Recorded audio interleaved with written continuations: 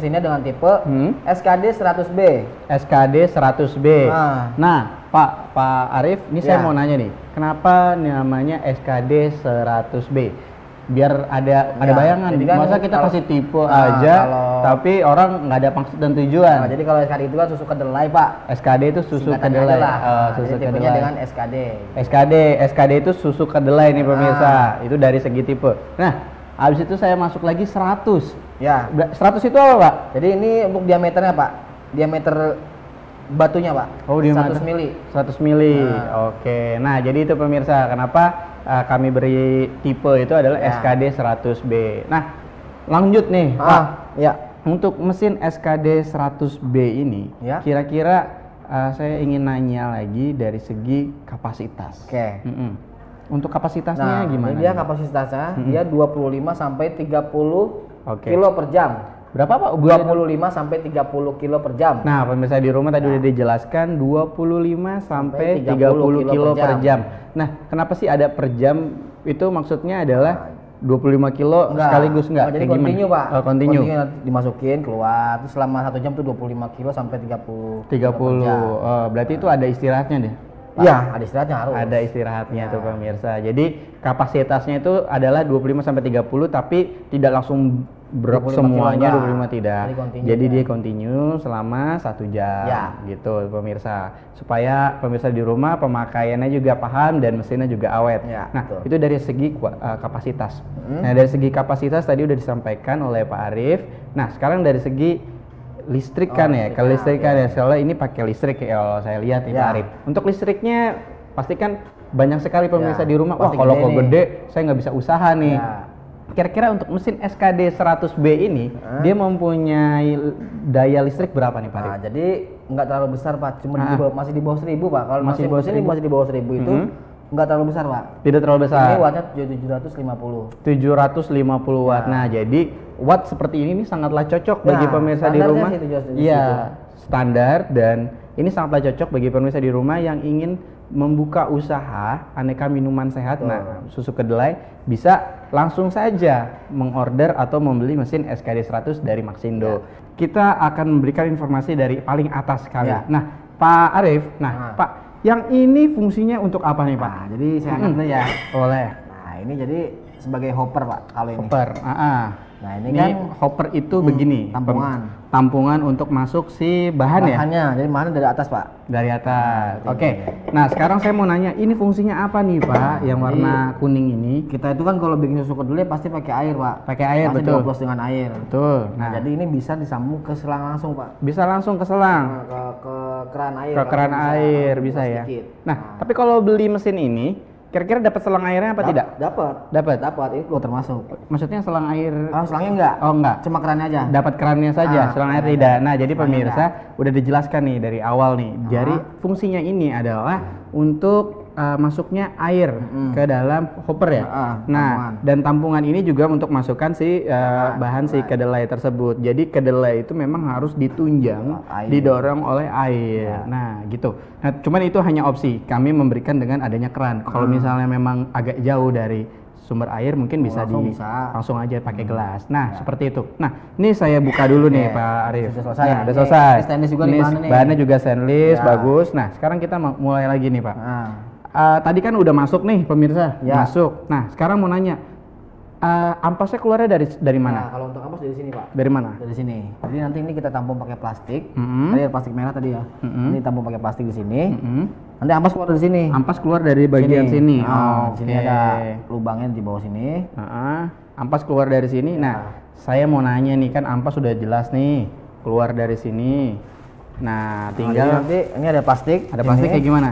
Lebih baik ditampung seperti ini pak. Oke. Nah, ditampung seperti ini. Mm-mm. Jadi ampasnya di sini pak. Ampasnya seperti itu ya. Hmm. Oke. Nah, untuk hasilnya, Hasilnya? hasil nanti di sini. Hasilnya di mana? Di sini, nah di depan sini untuk Di sini. hasilnya. Oh, untuk oke. sarinya pak. Untuk sarinya ya. Jadi itu udah terpisah pak. Ampas Input sari itu udah terpisah. ah, apa hasilnya ter keluar dari sini nih Iya. pemirsa. Oh, Ah. Oke.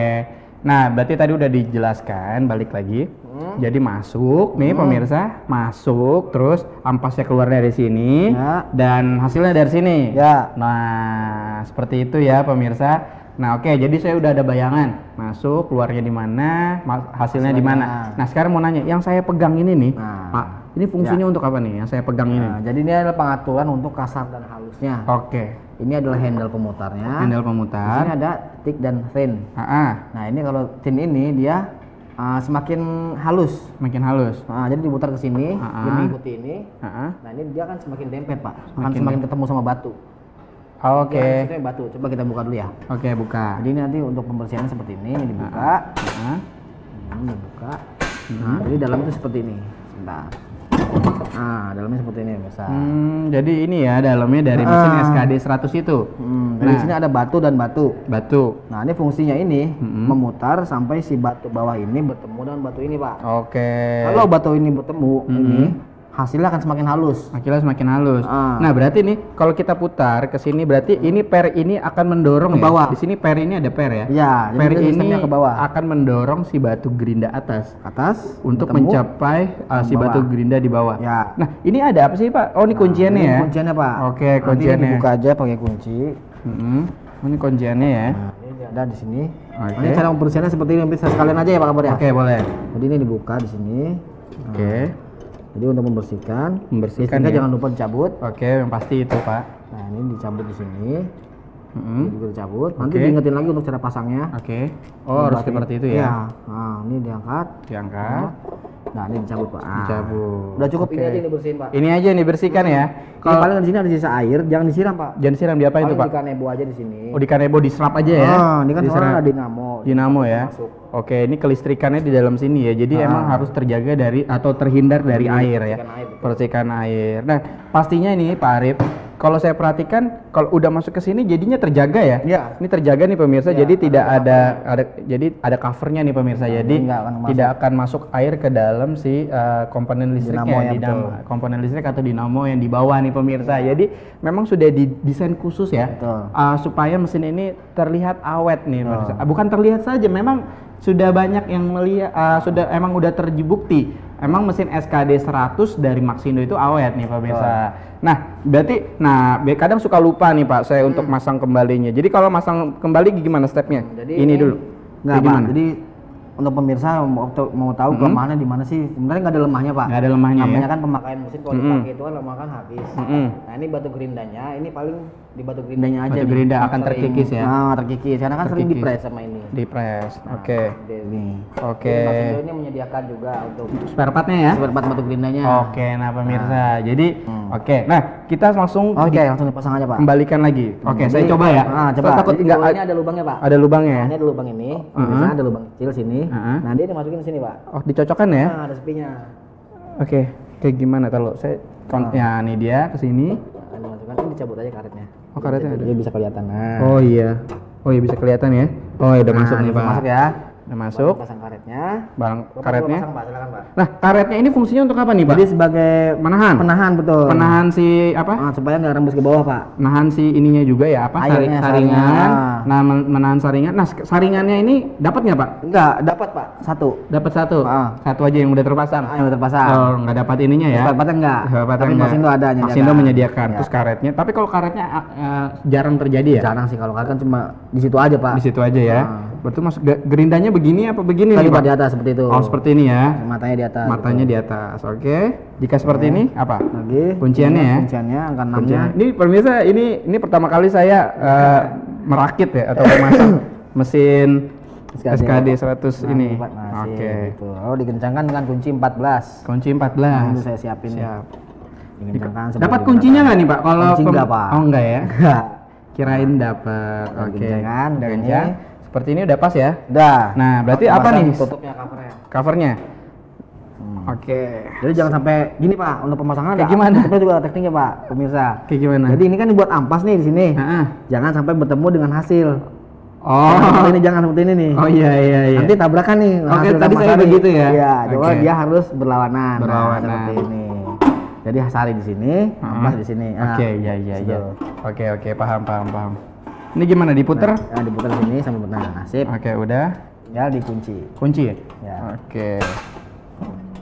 Siap. Di kuncinya seperti ini. Wah, Ya. ini pemirsa. Ini saya nih pribadi sebagai yang awam nih ya atau peng- sebagai yang ingin berusaha atau sebagai konsumen, Hmm. saya merasa kalau memiliki mesin uh, Maxindo SKD 100 ini dari cara pengoperasiannya, masukinnya, terus hampasnya di mana, hasil di mana itu sangatlah mudah. Itu yang pertama. Yang kedua nih pemirsa, yang kedua adalah saya mendapatkan uh, tips lagi dari Pak Arif ini dari teknisi. Cara untuk pembersihannya gampang nih pemirsa. Gampang sekali, Pak. Tinggal dibuka saja kuncian seperti ini. Kuncinya sudah dibuka tadi, terus diangkat, terus dibuka dengan kunci 14. Nah, terus gerindanya diambil, kampasnya diambil, dicuci itu pemirsa. Jadi sangatlah mudah. Untuk cara pemasangan kembali juga sangatlah mudah.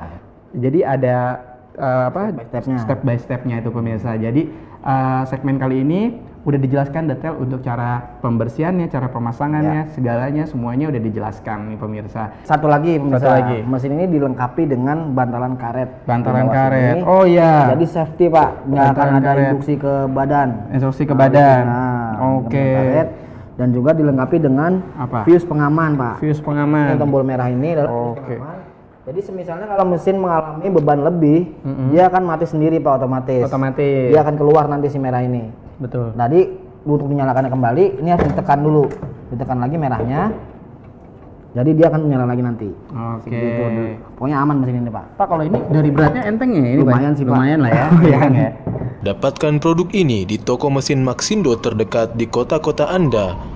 Kunjungi situs kami di www.maxindo.com. Maxindo, mesinnya pengusaha sukses.